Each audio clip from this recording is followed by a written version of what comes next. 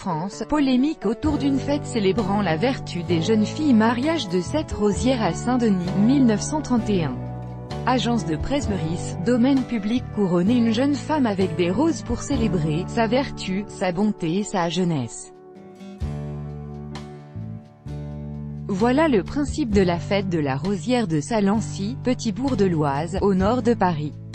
Une tradition qui pourrait être remise au goût du jour en 2019, avec le soutien logistique et financier du maire de la commune. L'initiative suscite une vive polémique sur Internet et des avis partagés parmi les habitants du village. Cela se faisait peut-être au 5e siècle. Mais aujourd'hui, c'est rétrograde, estime Muriel Dormini, la secrétaire du maire de Salancy. Elle était, depuis le départ, contre le retour de la fête de la Rosière en 2019 dans ce petit village dans l'Oise, au nord de Paris. Avant même que la polémique n'enfle sur Internet. Et pour cause, cet événement couronne une jeune fille du bourg pour ses vertus. Si au XVIIIe siècle, une rosière était décrite comme vertueuse, les individus comprennent aujourd'hui qu'il est surtout question de la candeur, de la bonté et de la virginité d'une jeune fille. Une jugée sexiste par beaucoup d'internats du movement. Muriel Dormini s'applique à trier les centaines de courriels de protestation adressés à l'édile sans étiquette Hervé de Planck, celui qui a, avec son conseil municipal, accordé une subvention de 1800 euros à la confrérie de Saint-Médard pour l'organisation de l'événement. Certains messages sont plus virulents que d'autres, vous êtes une raclure, espérons que cela ne vous donne pas de pulsion. Si ça ne tenait qu'à moi, j'annulerais tout de suite la fête, indique le maire qui confie ne pas avoir les épaules assez larges pour supporter cette levée de bouclier.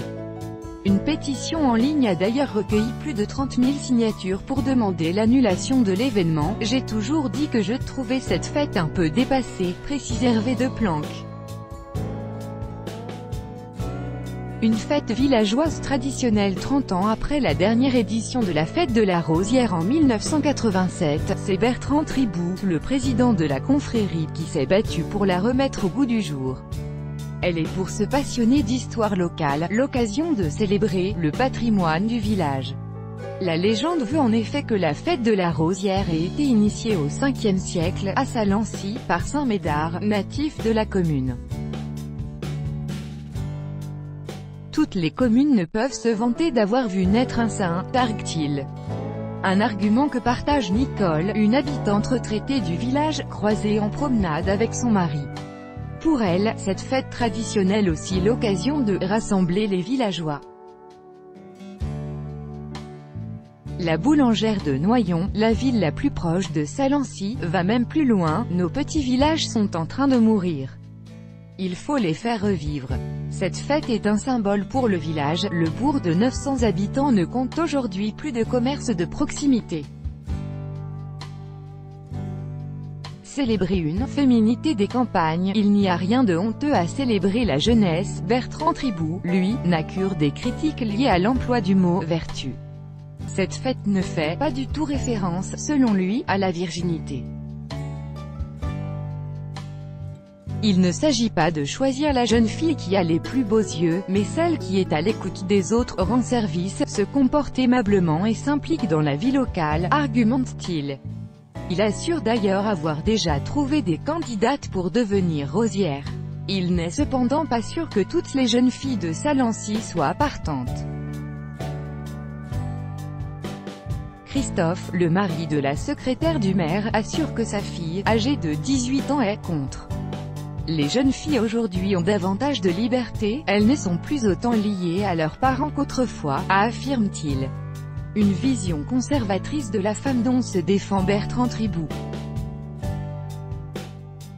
Pour lui, la fête de la rosière est au contraire une manière de mettre en valeur la féminité des femmes des milieux ruraux, souvent moins valorisées que celles des villes célébrer des qualités réputées féminines, comme l'écoute, la bonté, la disponibilité périne, une cliente de la boulangerie est d'accord, mais alors à la seule condition que les garçons puissent aussi être en lice pour devenir rosier de Salancy.